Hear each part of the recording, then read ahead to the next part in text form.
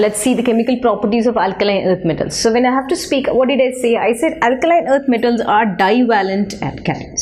Divalent. The charge would be divalent cation M plus 2.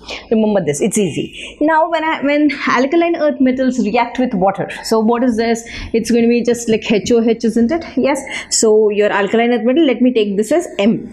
Right, this combines with OH. So what will happen? MOH the valency of uh, metal is also plus 2 and uh, this is OH minus. So this becomes MOH taken twice. Right? So right. So the leftover hydrogen gases evolved out. Now when it comes to Cl metal plus this uh, chlorine is going to form as MCl2 because metal valency is 2 and hydrogen gas.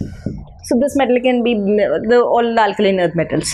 When it comes to sodium hydroxide water, you have to be very careful. Only beryllium is a salt which reacts with sodium hydroxide plus water. That is Na2 beryllium OH taken four times plus hydrogen gas.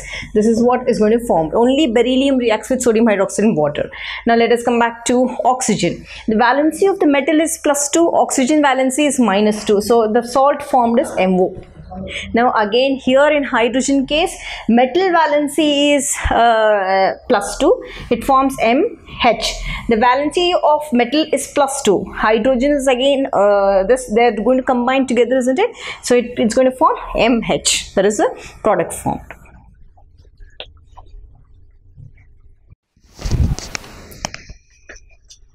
Right, now let's come back after your alkali metals. Let us come back and learn alkaline earth metals. So once we are done with alkaline earth metals, then we'll start solving different different multiple choice questions. So under alkaline earth metals, we as we know, we have beryllium, magnesium, calcium, strontium, barium and radium. So flame test colors are given, just um, just go through it once. Right, so when I have to speak about alkaline earth metals, when I have to read the physical properties, first important thing, atomic and ionic radii. So now we very well know when I move from S block, that is alkali metal, to alkaline earth metal. That is from in a period that is from left to right. What will happen? Always electron adds to the same shell. So atomic radii that is compared to alkali metal. That means when i have to go okay let me not write like this. Compared to alkaline metal when it goes in this way atomic or atomic radii or ionic radii decreases but when I go down from top to bottom the number of shells increases. So what will happen? From top to bottom the atomic radii or ionic radii increases because number of shells are increasing when I have to speak in terms of electropositivity, right, means ability to donate electrons. Now tell me, when the size is smaller enough, it's very small, the electropositivity will be less than alkali metals because the size is compact in nature. So from left to right in a period, this is I'm moving from this left to right.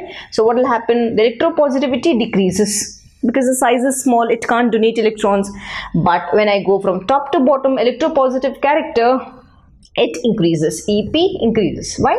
As the size increases it is easy number of shells increases. When the number of shells increases ability to donate electrons increases. When ability to donate electron increases what property changes? That is metallic character increases. So metallic character increases. Done. So ionization enthalpy same concept. When the size is smaller enough because i need like the, the electron every time is keeping getting added to the same shell. When it's getting added to the same shell what will happen to the amount of energy required? The amount of energy required will be more isn't it? Right? So when i see the ionization enthalpy when i have to move from left to right in a period ionization enthalpy value is more. Because why is this? Because I, atomic radii let us write that since atomic radii is less correct. But when I have to move from top to bottom in a group same concept number of shells increasing size of the atom is increasing so I can apply less energy to take out the electron. So ionization enthalpy value down the group increases. So so decreases I should write very less down the group. So this is in the group this is in the period so let's come back and do the next physical properties of alkaline earth metals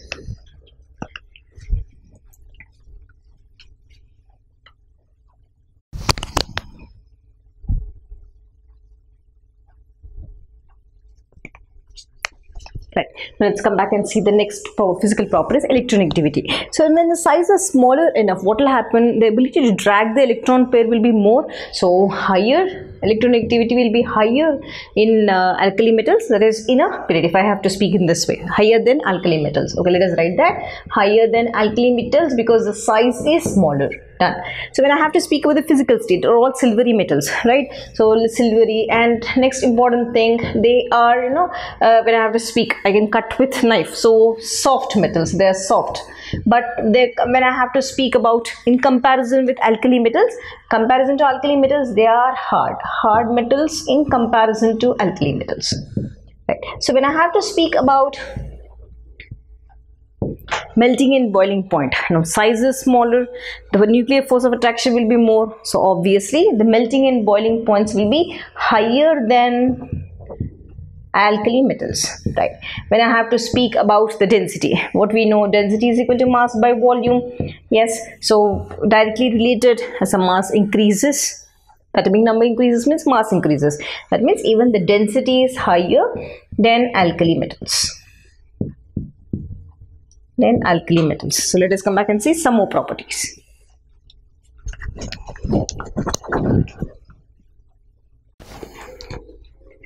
Right, now let's come back and see the next properties that is conductance. So conductance, they are good conductors of heat and electricity.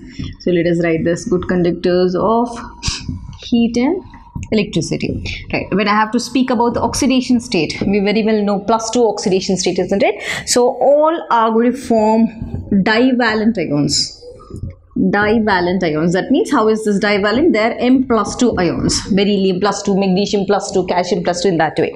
Right. So now what is the valency? When I say divalent, the valency would be plus 2. Simple.